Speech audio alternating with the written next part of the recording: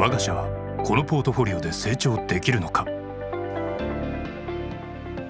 デジタルテクノロジーの進化に対応するための技術力や設備知識や仕組み加えてそれらを動かす人材成長のためには大きな決断そして投資が必要だ。ポートフォリオを見直す的確な分析とタイミングが重要だ。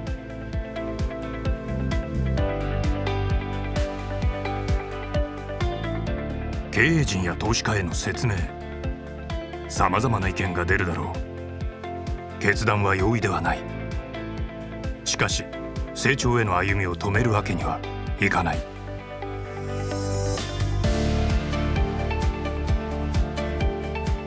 事業の売却や買収。それは未来への第一歩である。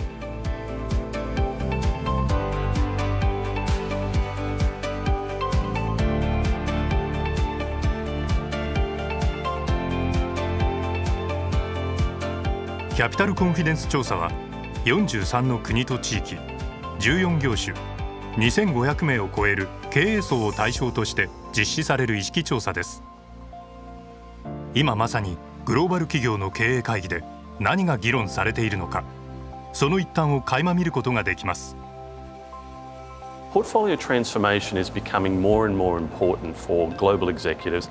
In Japan, um, it's being recognised now where companies have a really uh, large portfolio of investments. Uh, some of those investments may be performing quite strongly, others may be performing not so strongly.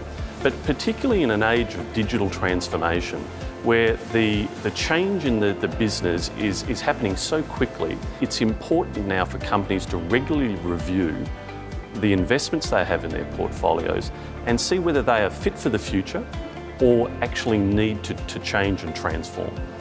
Is your portfolio fit for the future or fashioned on the past?